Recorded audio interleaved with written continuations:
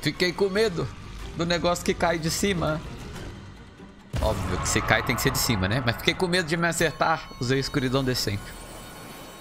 Nossa, tem um fantoche da Hornet, aqui da hora.